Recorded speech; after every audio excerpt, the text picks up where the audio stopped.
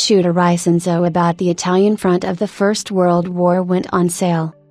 As promised, today the release of the Isonzo shooter took place, the full formal name of which sounds like WWI Isonzo Italian Front.